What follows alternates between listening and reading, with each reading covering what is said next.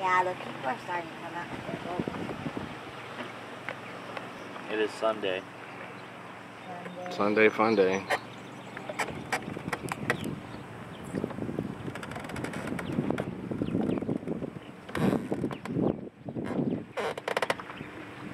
Do you think we were going to